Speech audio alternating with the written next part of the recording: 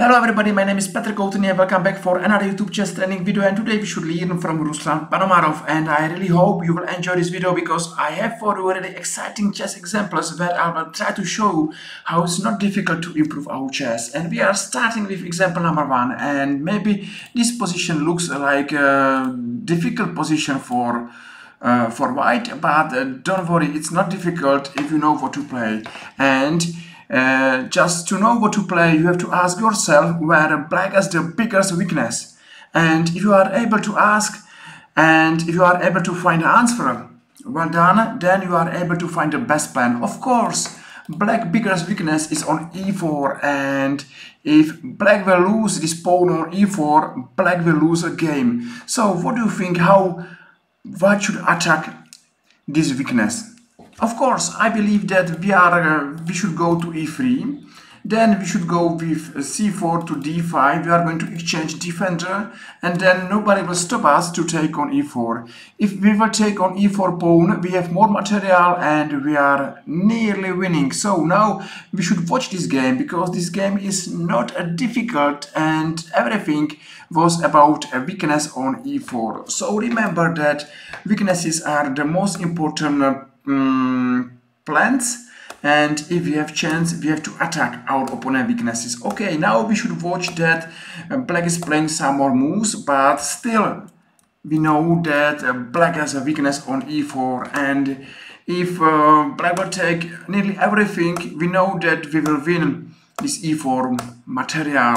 At the end we are going to d7 d8 and okay if black is going to exchange everything at the end, we are winning because from the first moves till last moves, we know that on e4 is a weakness and we know that on e4 is our winning um, winning weakness. So, okay, take, take, check, exchange, change and white is winning because white has more material. Don't be surprised, we won only small weakness and that's it. We were playing 40 moves with our simply plan just to attack opponent weaknesses and that's exactly what I love to tell you how to improve your chess what's really important in our chess games and biggest difference between weak and strong chess player is that strong chess player know how it's important to play uh, and find weaknesses. Just how it's important to attack weaknesses. But weaker player doesn't care. Weaker player doesn't care about weaknesses and they doesn't know how weaknesses are a really strong chess plan. So i believe that the first example was interesting for you. If yes thank you very much for every like.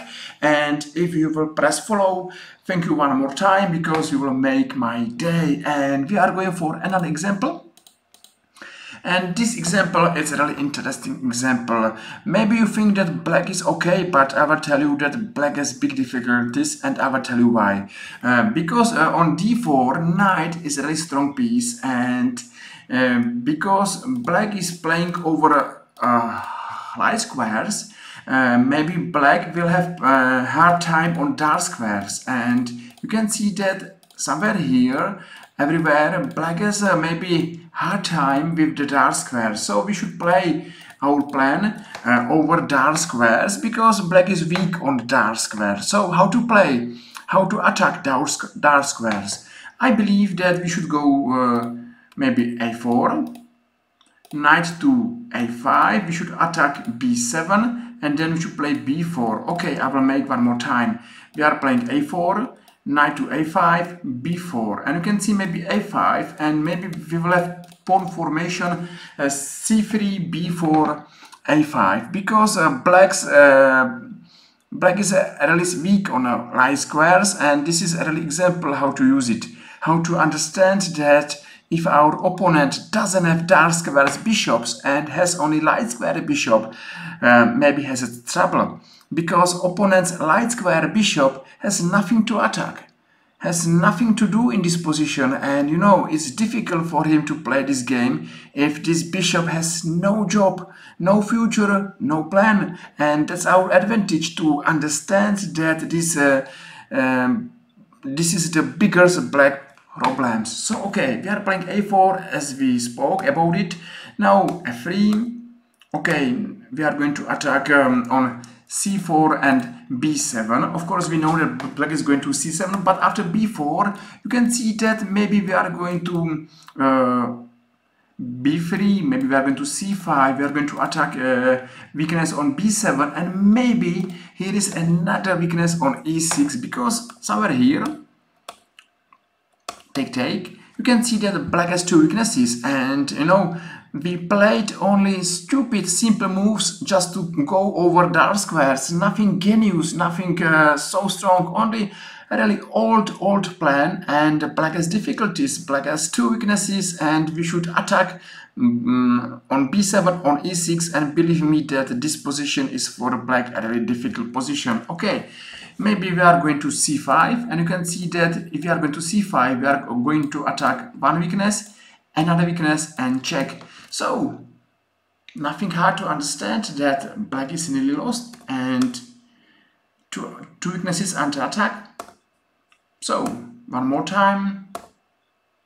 And uh, okay we are waiting for maybe um, because we know that black has a difficulties black has a really bad position and it's a simple fruit that in the bad position our opponent is making lots of uh, lots of weak moves. So we are waiting we are improving. A5 is a right move. Uh, just going um, to exchange this knight and you can see that we are winning material. At the end we have more material and of course white is winning. I will show this game till end but for this really important to understand. It's really important to understand that we have to we have to play against our opponent weaknesses. It's really important to have a feeling that weaknesses are really the best plan the best way how to improve our chess. And you know you can see that even strong chess masters world champions are playing nearly every times the main plan. And this is how to attack opponent weaknesses. It's really important to find to understand where our opponent is weak and use it as our advantage. Because if this is our opponent's weakness it's our advantage and I am going to show one more example. Of course in this example you can see that on uh, center is a weak piece and now it's up to us if we will attack. And we have to think if we will attack on f7 or on e6 and I will show both variation but uh, what's more important is that we have to have the right feeling that we have to start attacking weaknesses immediately. Don't give a time your opponent. Don't give your don't give a chance to your opponent. Just go for attack.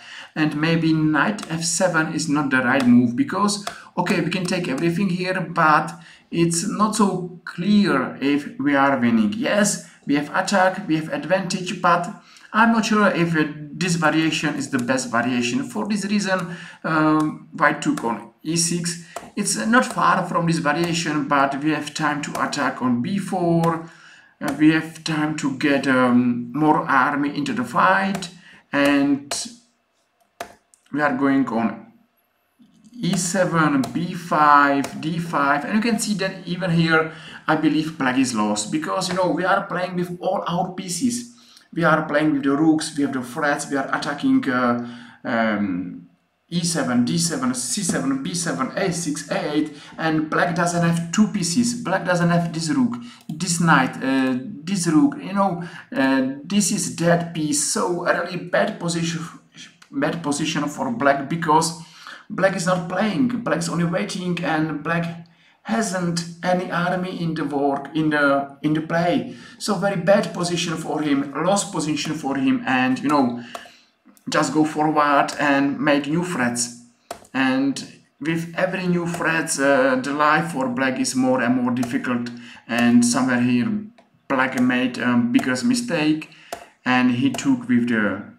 f8 piece but it's checkmate on e8 not important to play exactly the same moves. It's important to understand that if black has a weakness, we have to attack. We have to attack immediately. We have to go for that. We have to know that weaknesses are the most important chess plan for us. And if we really believe to improve our chess, if we really believe that we should be stronger chess player, we have to understand how weaknesses are important for a chess plan, for our games and for our improvements and this is really the most important story from this video and if you remember I will be really happy so one more example and this game was actually lost in opening for black so just watch how many moves black is going to lose and how many moves are is going to white to win. A4 one move.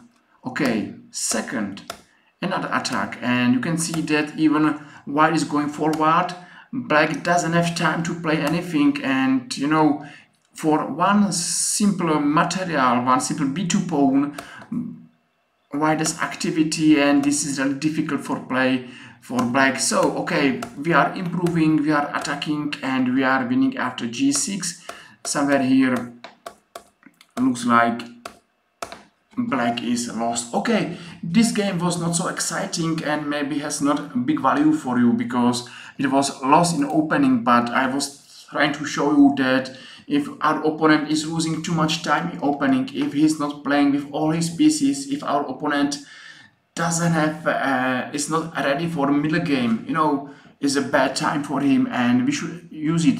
We should doesn't care about one b2 pawn because this b2 pawn is not important. It's important time activity and just go forward and win this game because this game is lost for black. So i believe that if you will ask me what we should learn from ruslan Ponomariov we should learn how activity is important how it's important to understand chess weaknesses and I believe that with every new experience, with every new diagram or example, we are improving chess players because we know what to play, we know how strong chess players are playing their games. And you know maybe one day we should play something like we saw in this in this video and we will know what to play. So thank you very much for your time. Thank you very much for watching this video. I hope you enjoyed it and i believe i will see you next time. Thank you and i wish you really strong chess. Bye bye